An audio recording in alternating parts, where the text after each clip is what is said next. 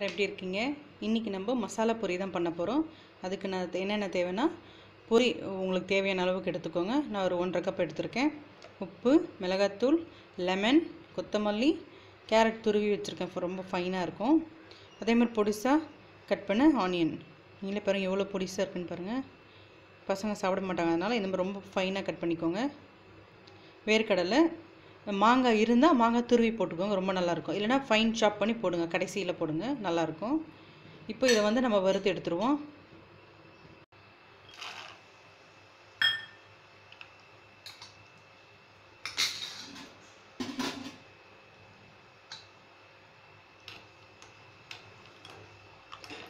கொஞ்சம் கலர் மாறினதும் எடுத்துருவோம். வெடிக்கவும் பார்த்துக்கோங்க.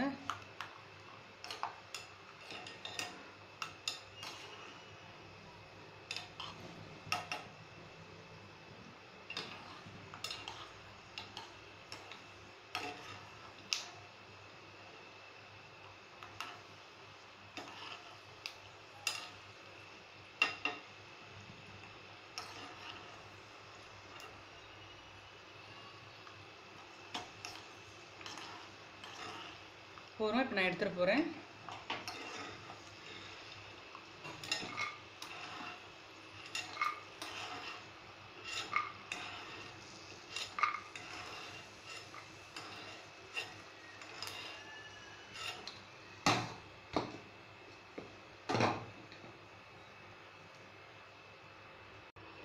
இப்போ நம்ம ஃப்ரை பண்ணி வச்சுருக்கோம். இதில் உங்களுக்கு தேவையான அளவு காரத்துக்கு ஏற்ற மாதிரி கொஞ்சமாக சில்லி பவுடர் பசங்க சாப்பிட்றது வந்து கொஞ்சம் கம்மி பண்ணிவிடுங்க காரம் சாப்பிட மாட்டாங்க. தேவையான அளவுக்கு உப்பு. கட் பண்ணி வச்சுருக்கேன். ஆனியன் இதுவும் எவ்வளோ தேவையோ அந்த மாதிரி போட்டுக்கோங்க. கேரட் துருவி வச்சுருக்குது. கொத்தமல்லி. பொரி வந்து கடைசியாக போடுங்க. தேவையான அளவு லெமன் நான் ஒரு ஸ்லைஸ் சின்ன ஸ்லைஸ் தான் எடுத்துருக்கேன் பாருங்கள் ரொம்ப சின்னது.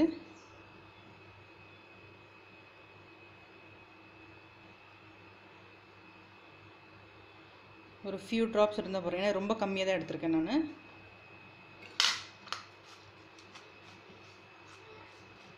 மிக்ஸ் பண்ணிவிட்டு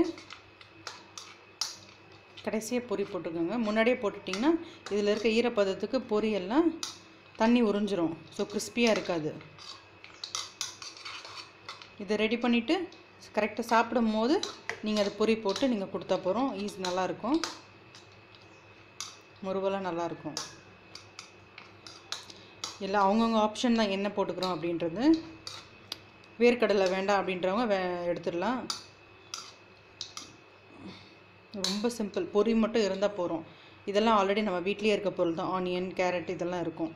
பொரி மட்டும் எப்போவுமே வச்சுருங்க ஸ்டாக் வச்சுருங்க. நினச்ச நேரத்துக்கு சும்மா இருக்கும் போது கூட போட்டு சாப்பிட்டுக்கலாம்.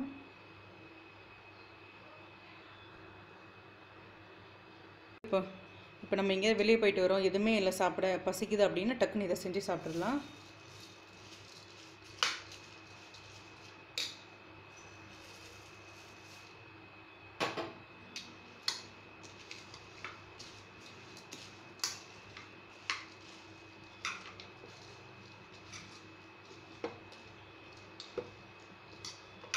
சாட் மசாலா இருந்தால் சாட் மசாலா போட்டுக்கோங்க.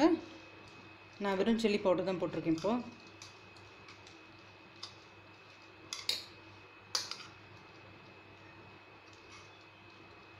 மிக்சர் இல்லை காராசு இருந்ததுன்னா அதையும் நீங்கள் ஆட் பண்ணிக்கலாம் ஃபைனலாக அது ஆப்ஷனல் யாருக்கு எந்த மாதிரி விருப்பமோ அப்படி போட்டுக்கலாம்.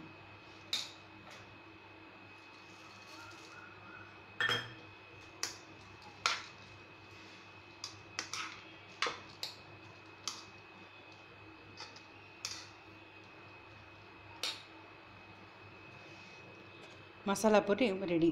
எல்லோரும் செஞ்சு பாருங்கள் பிடிச்சிருந்தால் லைக் பண்ணுங்கள் ஷேர் பண்ணுங்கள் சப்ஸ்கிரைப் பண்ணுங்கள் தேங்க்யூ